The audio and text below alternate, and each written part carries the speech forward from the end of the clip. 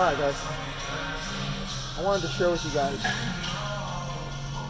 what I started doing to get my deadlift strong. Um, this is an exercise I would do every time before I would deadlift the barbell. Um, for me, it, to me, it warms up the grip, it warms up both sides of your hips. Uh, so when you go to pull through the bar, both legs are fired up to do the job.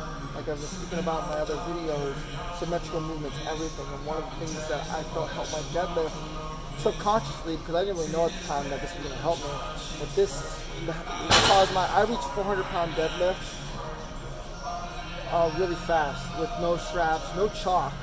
Um, I just had a good grip strength, not even reversing my grip because of this exercise here. And it's just a single leg RDL.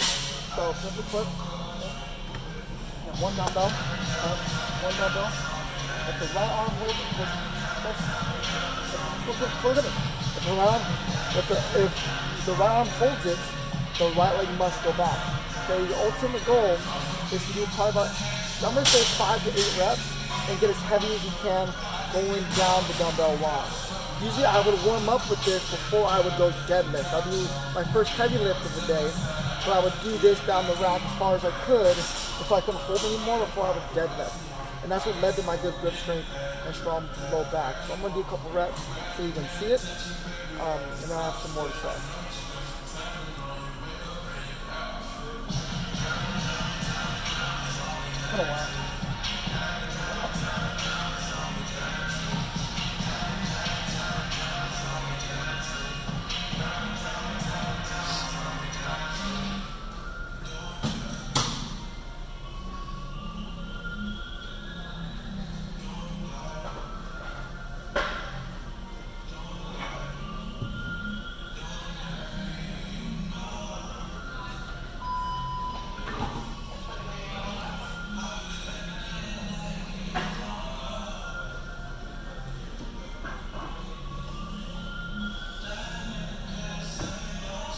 Couple things. Make sure your palm faces down at all times. Don't put some weird position. Palm should face down. You should be going straight down towards your shoe, okay? Or even straight down to the ground. Okay, find a target. Don't look up. Back of the neck. Um, and the one thing you will notice is one side is easier than the other. That's one of the things you will find out immediately that one one of your butt cheeks fires a lot better than the other. And that to me is what led such a strong deadlift. I kept on working on my weaker side that led to my strong deadlift. So the side you feel that you don't feel as in control, definitely put more of your brain power on that side during this lift, and you probably won't apply that to your deadlift. Okay? So this is the exercise I would do every day before I would deadlift, which usually twice a week.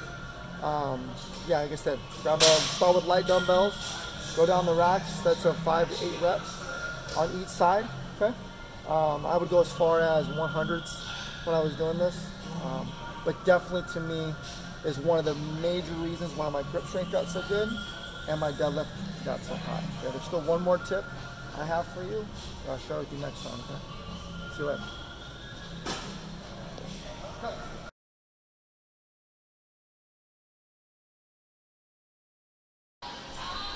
So I was talking about down there with um, to develop your deadlift with that movement. Um, a lot of times, again, I feel like the symmetrical push from the ground, like in a leg press, into a deadlift bar is huge. And that's why that single arm movement, developing strength with grip, allows you to warm up into that deadlift. Now, if you struggle with balance, there's nothing wrong with taking a step back and not using weight and build volume just with, with your body weight. Because again, balance is everything. You can stand still, okay?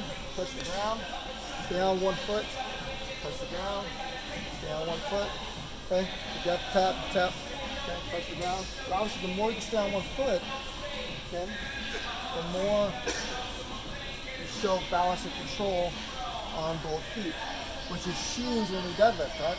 If you can't stand on one foot, example, if you can't stand on one foot, okay, with balance, what, what makes you think you're gonna pull out as much as possible with both feet into a barbell? And that's why that exercise, to me, led to my success in deadlifting. That's how I always start my deadlifts, leading into my deadlifts, and I just kept getting stronger over time.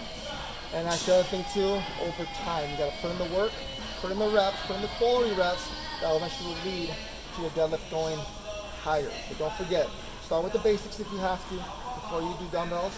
Don't just go straight to dumbbells and look broken and funny because you know if you, always you look the part if you don't put in the right work, right?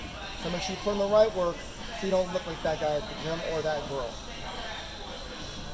Perfect.